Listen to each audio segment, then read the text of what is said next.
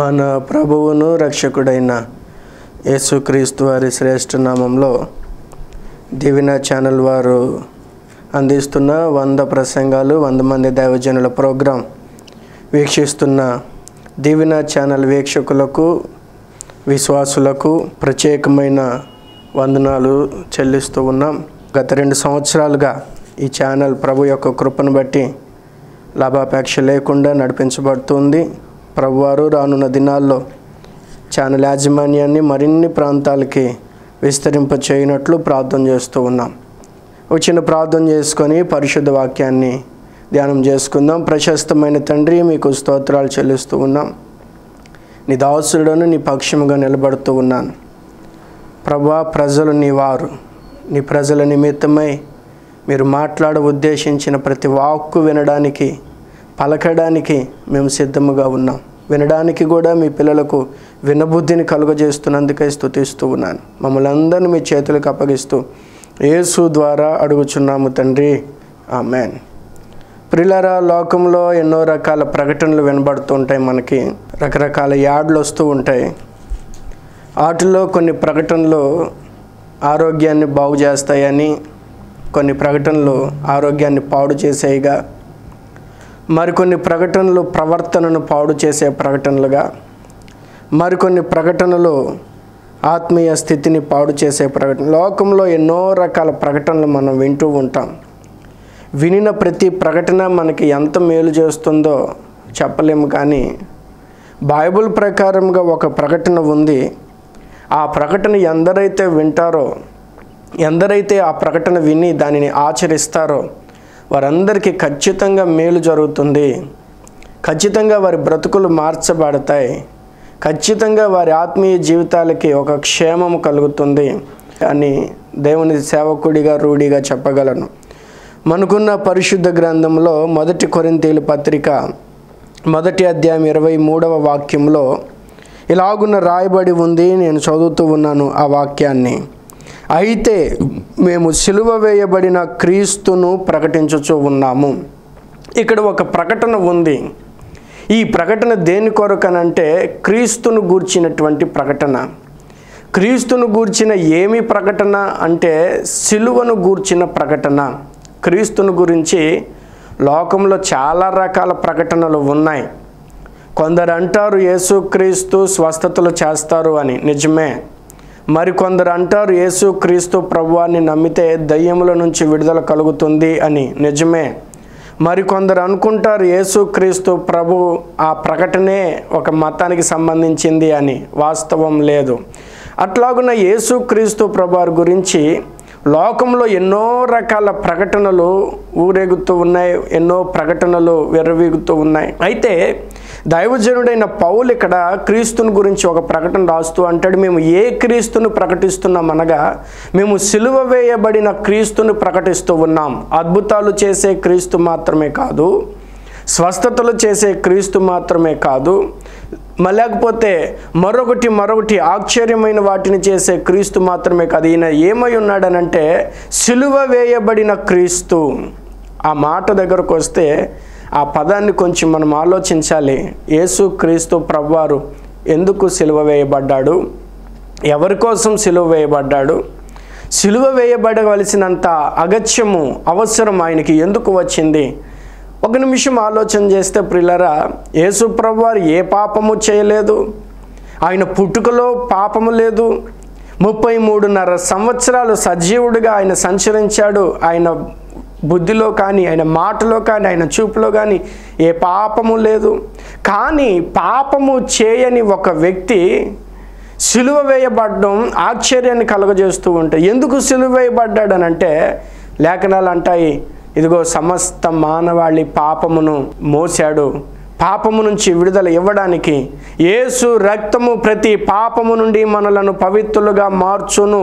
ఆ రక్తమును చిందించుట కొరకు ప్రతి మనిషిని వాడి శాపము నుండి ప్రతి మనిషిని వాడి పాపము నుంచి విడుదల చేయడానికి నీ కొరకు నా కొరకు మనందరి కొరకు ప్రపంచం అందరి కొరకు ఇందులో భేదము లేదండి. కొందరు అనుకుంటున్నట్లుగా ఇందులో మతము లేదు. కొందరు అనుకుంటున్నట్లుగా ఇందులో జాతి కానీ వర్గము కానీ వర్ణము కానీ పేద ధనిక కానీ ఉచ్చ నీచాలుగా ఏ భేదము లేదండి. యేసుక్రీస్తు ప్రభు మనందరి కొరకు సిలువైబడ్డారు ఆయన సిలువ వేయబడ్డారు గనుక ఆయన సిలువలో ప్రాణం పెట్టారు గనుక సిలువలో ఆయన తన రక్తమును చిందించాడు గనుక ఈరోజు నిరీక్షణతో మనం చెప్పుకోగలుగుతున్నాం నేను పరలోక రాజ్యానికి వెళ్ళగలను. దేవుని రాజ్యమును నేను స్వతంత్రించుకొనగలను. నిత్య జీవాన్ని నేను పొందుకోగలను. కారణం ఏమిటంటే నా మీద పాపమునకు అధికారం లేదు. పితరులు చేసినటువంటి దోషములు కానీ నేను చేసిన పాపం నువ్వు చేసిన పాపము నీ పితరులు చేసిన పాపం అవి శాపముగా మీ కుటుంబాలను ఏలుబడి చేసి అనారోగ్యాలుగా మారి సమాధానం లేకుండా చేసి కుటుంబ జీవితాలను విచ్ఛిన్నం చేస్తూ భయంకరమైన దుఃఖకరమైన పరిస్థితుల్లో కుటుంబం వెళుతూ ఉంది ఈ రోజును చెప్పుకోవచ్చు అలాంటి ఆ భయంకరమైన పరిస్థితుల నుంచి విడుదల చేయడానికే నీ కొరకు నీ కుటుంబం కొరకు నీకున్న సమస్తమైన వారందరి కొరకు మనందరి కొరకు యేసు క్రీస్తు ప్రభారు సిలువ వేయబడ్డారు. ఆ సిలువ వేయబడిన క్రీస్తును ఈరోజు దైవజనుడిగా నేను ప్రకటిస్తూ ఉన్నాను. లోకంలో కొన్ని ప్రకటనలు విని అలా చేయాలనుకుంటాం ప్రయత్నిస్తూ ఉంటాం ఏవేవో చేస్తాం. నాకు తెలిసిన ఒక సహోదరి మొన్న మధ్యన కనబడి వందనాలు అన్నయ్య అంది. ఆమెను చూస్తే నేను గుర్తుపట్ల ఏమిటమ్మా ఎవరు గుర్తుపట్టలేదని అంటే అన్నయ్య నేను పలానమ్మని ఆహా, ఏంటమ్మా ఎట్లయిపోయావనంటే ఆవిడంటది అదేదో క్రీమ్ వాడిందట వయసు తగ్గే క్రీము అదంతా వాడేసరికి మొహం అంతా ఎట్లయిపోయిందంటే కాలిపోయిన మొఖంలాగా మచ్చలు వచ్చేసింది ఏవేవో ప్రకటనలు చూస్తున్నాం. అలా చేస్తే బాగుండు అలా ఉంటే బాగుండు నేను కూడా అలా మారిపోవాలి ఇలా మారిపోవాలని ప్రయత్నం చేస్తున్నాం. నా దేవుని పిల్లలారా ఈరోజు దైవ సేవకుడిగా భారముతో దుఃఖంతో చెబుతున్నా దయచేసి ఈ ప్రకటన వినండి. ఈ ప్రకటనను మీరు ఆచరించండి. ఈ ప్రకటనను మీరు మనస్కరించండి. ఈ ప్రకటనను బట్టి క్రీస్తుని మీ రక్షకునిగా చేర్చుకొనండి. ఆయన నీ రోగమును మాత్రమే బాగు చేసేవాడు కాదు. ఆయన నీ పాపము నుండి నిన్ను విడుదల చేయగలిగిన వాడు ఆయన పేరు నజరేయుడైన యేసు రక్షకుడైన అద్భుతాలు చేయగలిగిన వాడు ఆయన అద్భుతాలు మాత్రమే మనిషిని నిత్య జీవంలోనికి తీసుకువెళ్ళలేవు కానీ పాపము నుంచి విడుదల పొందినవాడు. వాడు నిత్య జీవానికి వారసుడుగా మార్చగలుగుతాడు. మార్చబడతాడు. అలాగున మార్చగలిగిన రక్తము ఏసు రక్తము. ఆయన సిలువ వేయబడ్డాడు. నీ కొరకు నా కొరకే సిలువ వేయబడ్డాడు. అందుకనే దైవజనుడు అని పౌలు అంటాడు మేము ఎవరిని ప్రకటిస్తూ ఉన్నాం? ఏ ప్రకటన తీసుకొని నీ ముందుకు వచ్చాం నీ ఇంటికి వచ్చాం నీ దగ్గరకు వచ్చామనంటే ఈ ప్రకటన నీ స్థితిని మార్చగలిగినది. ఈ ప్రకటన నీ ప్రవర్తనను మార్చగలిగినది. ఈ ప్రకటన నరకము నుంచి నిన్ను విడిపించి పరలోక రాజ్యానికి చేర్చగలిగినది.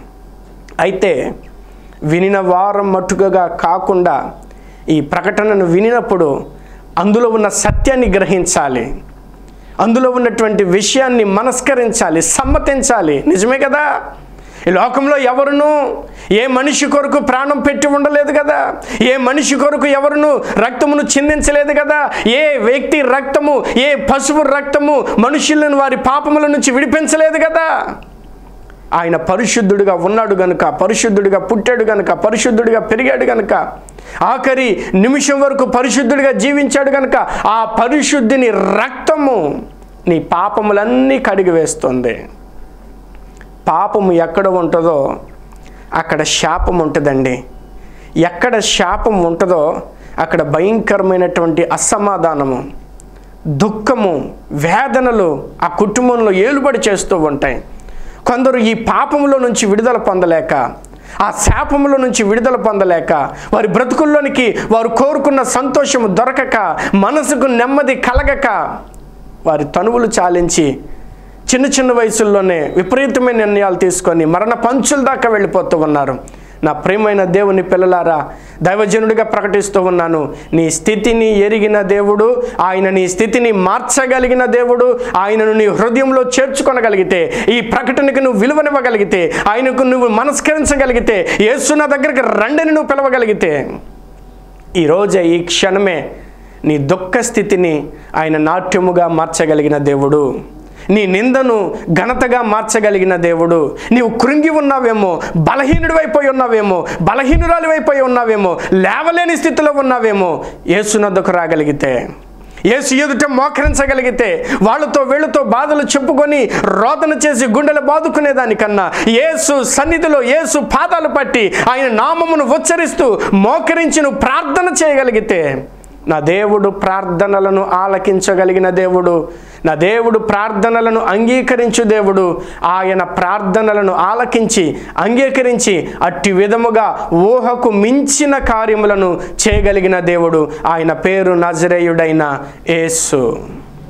అందుకే కొరింతి సంఘానికి దైవజండైన పౌలు గారు చెప్తూ అంటాడు మేము సిలువ వేయబడిన క్రీస్తును ప్రకటిస్తూ ఉన్నాం. ఈరోజు చాలా ప్రకటనలు వస్తున్నాయి. యేసుక్రీస్తు ప్రభువారి గురించి. రకరకాల ప్రకటనలు వస్తున్నాయి. రోగాలు పోతాయని ప్రకటన వస్తుంది. పిల్లలు పుడతారనే ప్రకటన వస్తుంది. లేకపోతే ఉద్యోగాలు వస్తాయనే ప్రకటన వస్తుంది. లేకపోతే మరొకటి మరొకటి మరొకటి పేదోళ్ళు గొప్పోళ్ళు అయిపోతారనే ప్రకటనలు వస్తున్నాయి. వాస్తవమే. కానీ వాటన్నిటిని మించి మనిషికి అవసరమైనది ఏమిటంటే వాని ఆత్మ నరకము నుంచి విడిపించబడి నిత్య జీవంలోనికి వెళ్ళాలి. నిత్య జీవములోనికి వాడు నడిపించబడాలి. ఒకడు లోకమంతయు సంపాదించుకొని తన ప్రాణమును పోగొట్టుకునే ఎడల వానికేమి ప్రయోజనం? వెండి బంగారములు సంపాదించుకొని తనకు నచ్చినట్టుగా జీవించి తనకు మెచ్చినట్లుగా బ్రతికి లోకమును మెప్పించాలని తన బ్రతుకును పాడు చేసుకొని. నా ప్రేమైన వారులారా యేసు క్రీస్తు ప్రభువును మనం ఎందుకు అంగీకరించాలంటే ఈ ఆత్మ రక్షించబడ్డ కొరకు. ఆయనతో కలిసి నిత్య జీవములో ఉండుట కొరకు ఆయనకు లాగా మార్చబడుట కొరకు ఆయన పోలికను మనము ధరింప చేసుకున్నట కొరకు. ఎందుకు ఈ మాటలు పదే పదే చెప్పడానికి ఇష్టపడుతున్నామో తెలుసా? ఇది రాకడ కాలంలో ఉన్నాం. యేసు క్రీస్తు ప్రభువారు త్వరగా రాబోతూ ఉన్నాడు. త్వరగా రాబోతూ ఉన్నాడు ఆయన. సమయం చాలా తక్కువ ఉన్నదండి. దినములు చెడ్డవుగా ఉన్నాయి. భయంకరమైన దినాలు గుండా మనం ప్రయాణం చేస్తూ ఉన్నాం. ఏ రోజు ఎలా ఉంటుందో ఏ రోజు ఏం జరుగుతుందో తెలియని అపాయకరమైన దినాలు చీకటి కలిగిన దినాలు గుండా నడుస్తూ ఉన్నాం. వయస్సు భేదం లేకుండా పాపం విస్తరించిపోయింది లోకంలో. చిన్నపిల్లలు పాప పాప పాలోచనలే వృద్ధులు పాప పాలోచనలే ఎక్కడ చూసిన పాపం పాపం. పాప దాహం పెరిగిపోయిన దినాల్లో మనం బ్రతుకుతూ ఉన్నాం. గుండెను గుప్పెట్లో పెట్టుకొని ఏం జరుగుతుందో తెలియక ఆవేదన పడుతూ ఆందోళన పడుతున్న దినాల్లో మనం ఉంటున్నాం. వీటన్నిటిలో ఒక నెమ్మది మనకి కావాలని అంటే నేడే నజరేయుడైన యోసునొద్దకు రమ్ము. ఆయన నీకు నెమ్మదినిస్తాడు. ఆయన నీ కొరకే సిలువ వేయబడ్డాడు. ఆయన నీ కొరకే ప్రాణం పెట్టాడు. ఆయన నీకు నెమ్మదినివ్వడానికి నీ పాపము నుంచి విడుదల చేయడానికి నీ శాపమును కొట్టివేయడానికి శాపములో నుంచి నిన్ను జీవములోనికి దాటించడానికి నీ కొరకే. నీ కుటుంబం నిన్ను పట్టించుకోకపోవచ్చు. నీ స్నేహితులు నీ రక్త సంబంధికులు నీ బాధను వినలేకపోవచ్చు కానీ ఇదిగో ఈరోజు ఒక- ఒక వ్యక్తిని నేను పరిచయం చేస్తున్నా ఒక మనిషిని పరిచయం చేస్తున్నా మనిషిగా ఊడ్చిన దేవుణ్ణి పరిచయం చేస్తున్నా ఆయనతో నువ్వు సహవాసం చేయగలిగితే యోగు గ్రంథకర్త అంటాడు నీవు దేవునితో సహవాసం చేసిన ఎడల నీకు మేలు కలుగుతుంది. ఇంకెక్కడ ఉందండి మేలు?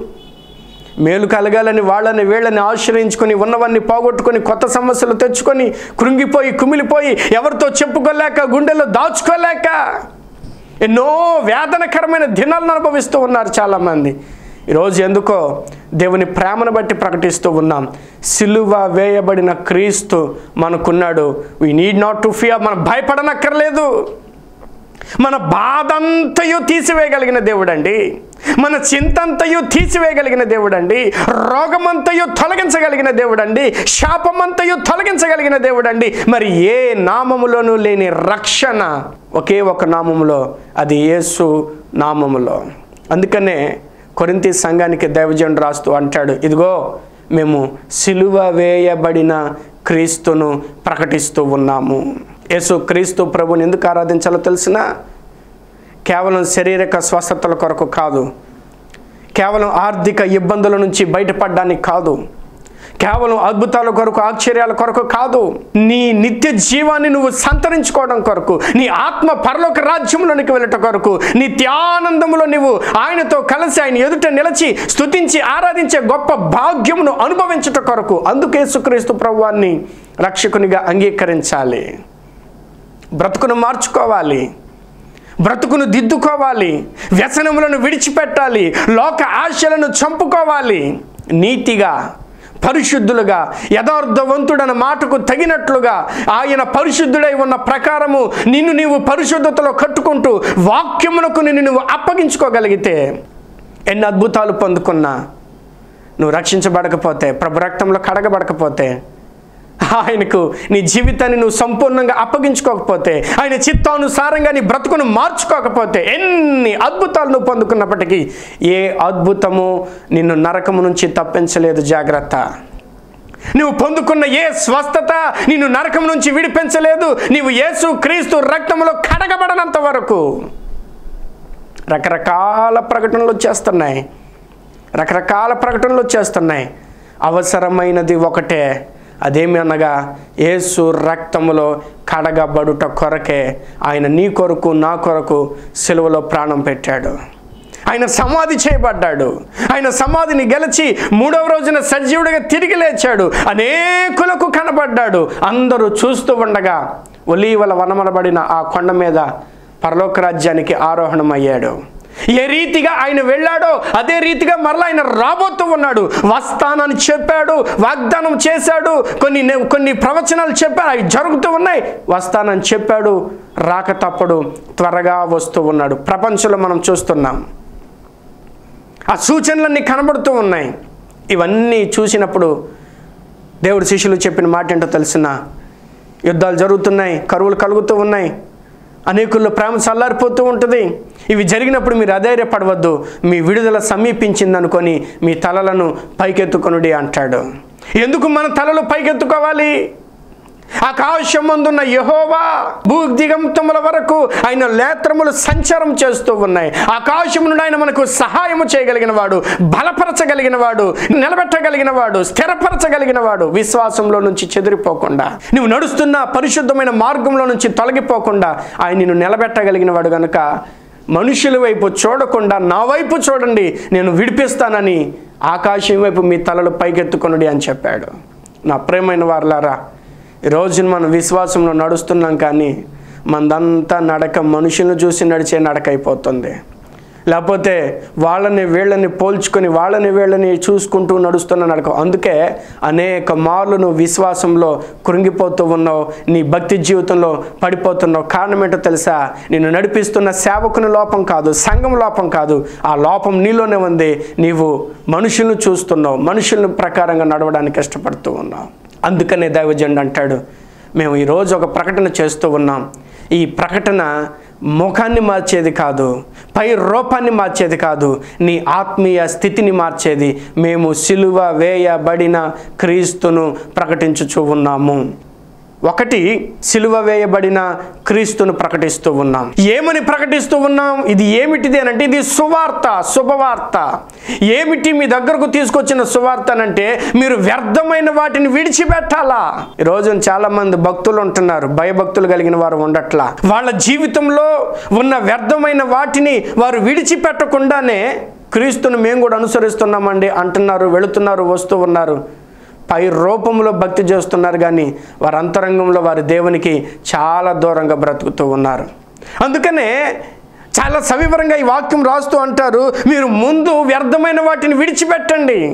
ఏ వ్యసనమైతే నీ కుటుంబాన్ని పాడు చేస్తుందో ఏ బలహీనత అయితే నీ శరీరాన్ని పాడు చేస్తూ ఉందో నీలో దాగి ఉన్న ఏ పాపమైతే నిన్ను ఆత్మీయంగా ఆయనతో ఎదగనివ్వకుండా ఆయనతో నువ్వు అంటుకట్టబడకుండా నీ జీవితాన్ని బహుగా ఫలించగలిగిన అనుభవంలో నిలబెట్టకుండా ఏదైతే నీకు ఆటంకంగా ఉంటుందో దాన్ని విడిచిపెట్టు.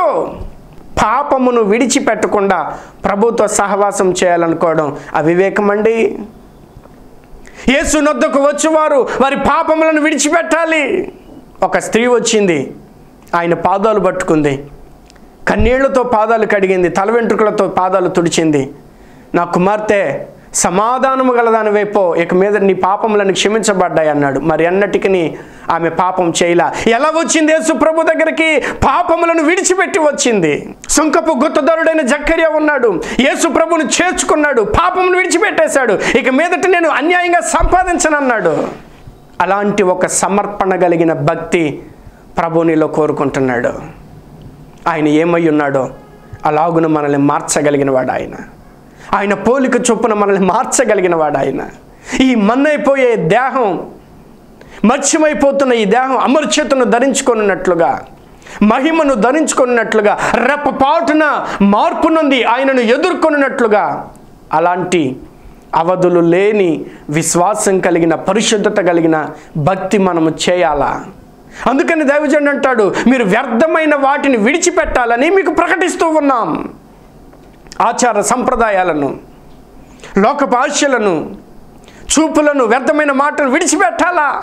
ఇంకా అంటాడు ఆకాశమును భూమిని సముద్రమును వాటిలో ఉండు సమస్తమును సృజించిన జీవము గల దేవుని వైపు తిరగవలెనని. ఈరోజు మనం ఎటు తిరుగుతున్నామండి? అద్భుతాల కోసం తిరుగుతూ ఉన్నాం. అద్భుతాలు చేసేవారి కోసం తిరుగుతూ ఉన్నాం. అద్భుతాలను కనపరచగలిగిన దేవుని వైపు తిరగలేకపోతున్నాం. ఏ మనిషి తన స్వశక్తి చేత ఏమీ చేయలేడు. దేవుని కృప వలన మాత్రమే ఎవరు ఏం చేయగలిగినప్పటికీ ఆయన నామములోనే దయ్యాలు పోతున్నాయి. ఆయన నామములోనే రోగులు లే- స్వస్థపడుతున్నారు. ఆయన నామములోనే చనిపోయిన వారు లేస్తూ ఉన్నారు. ఆయన నామములోనే. కనుక ఆ ప్రకటించబడిన నామం వైపు తిరగాలని దైవజండు అంటాడు. మీరు జీవము కలిగిన దేవుని వైపు తిరగండి. ఎంతకాలం వాళ్ళ వైపు వీళ్ళ వైపు తిరుగుతావు? ఎంతకాలం మనుషుల వైపు తిరుగుతావు? అది నీ భక్తి జీవితానికి నీ ఆత్మీయ జీవితానికి శ్రేయస్సు కాదు క్షేమము కాదు. నువ్వు దేవుని వైపు తిరిగిన ఎడలా ఆయన నీ వైపు తిరుగుతాడు. ఆయన నిన్ను కనికరిస్తాడు. ఆయన నిన్ను కటాక్షిస్తాడు ఆయన నీ స్థితిని మారుస్తాడు. నీ ఉన్న చోట నుంచి నిన్ను పైకి లావనెత్తుతాడు. ఇదిగో ఉన్నతమైన స్థలముల పైన శక్తితో నిన్ను కూర్చుండబెడతాడు ఆయన. రాష్ట్రం కలిగిన దేవుడు ఆయన. తన బిడ్డలను చేయి విడిచిపెట్టే దేవుడు కాడు. మరిచిపోయే దేవుడు కాడు కాదు ఆయన అన్యాయస్తుడైన దేవుడు కాడు. కనుక భక్తుడు అంటాడు మీరు జీవము కలిగిన దేవుని వైపు తిరగండి. ఈయన మృతుడు కాదండి. దినములు మారుతున్నాయి తరాలు మారుతున్నాయి యుగాలు మారుతున్నాయి. నిన్న నేడు నిరంతరం ఏకరీతిగా ఉన్న దేవుడిన జీవం కలిగిన దేవుడిన అందుకని అంటాడు ఇదిగో ఇంకొక ప్రకటన మీకు చేస్తున్నాం. అదేమిటంటే మీరు జీవము కలిగిన దేవుని వైపు తిరగాలి. అమెన్ మొదటి ప్రకటన సిలువ వేయబడిన క్రీస్తును గూర్చిన ప్రకటన.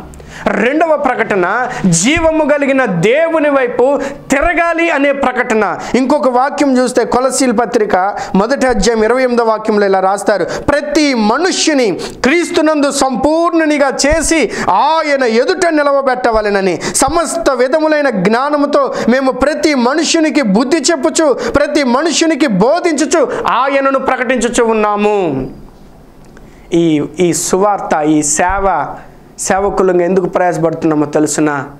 ప్రతి మనిషిని ప్రతి మనిషిని ప్రభనేశ్వ క్రీస్తు వారి ఎదుట నిలవబెట్టాలండి. అందుకే ఈ ప్రయాస. మా ఎదుట నిలవబెట్టుకోవడానికి కాదు మా సంఘములను విస్తరింపజేసుకోవడానికి కాదు మా దగ్గర వేల మందిని పోగు చేసుకోవడానికి కాదు ప్రతి మనిషిని ఎవరికైతే వాక్యం చెప్తూ ఉన్నామో ఎవరైతే దేవుణ్ణి ఆరాధిస్తూ ఉన్నారో ఎందరైతే అప్పగించబడుతూ ఉన్నారో వారందరినీ క్రీస్తు ఎదుట నిలవబెట్టాలి. ఎందుకో తెలిసిన అక్కడ తీర్పు ఉంటుంది. ఆ తీర్పులో మనం నీతిమంతులుగా తీర్పు తీర్చబడాలి. పరలోక రాజ్యంలోనికి మనం అడుగు పెట్టాలి.